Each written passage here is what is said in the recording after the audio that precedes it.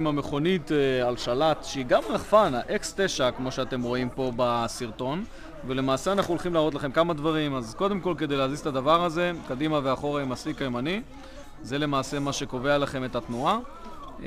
פחות נוח ממכונית על שלט רגילה אבל עדיין ברגע שהדבר הזה ממריא לשמיים הוא מאוד מאוד קל לשליטה. אני אראה לכם בדיוק איך זה נראה. זה עם הסטיק השמאלי פה. אנחנו מרימים ולמעשה כמעט הורדנו לעצמנו את הראש, אבל כמו שאתם רואים בסוף זה מתנהג כמו רחפן, אני יכול להטיס את זה פה במרחב סגור.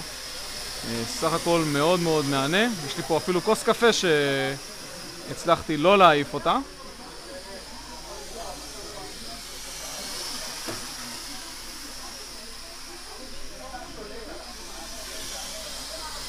לא רע בכלל אני חייב להגיד, הרבה יותר קל מלנסוע על הכביש ובסופו של דבר גם באזור סגור הדבר הזה טס יפה. אני רואה גם שיש לנו עכשיו נורת התרעה סוללה אולי בגלל שביריד הזה אנשים הטיסו את המכונית השלט הרבה יותר ממני אז הנה גם ריסקתי אותה ומבחן שרידות בואו נראה.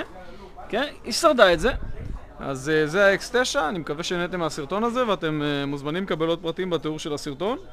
אני הייתי צביקה ונתראה בסרטונים הבאים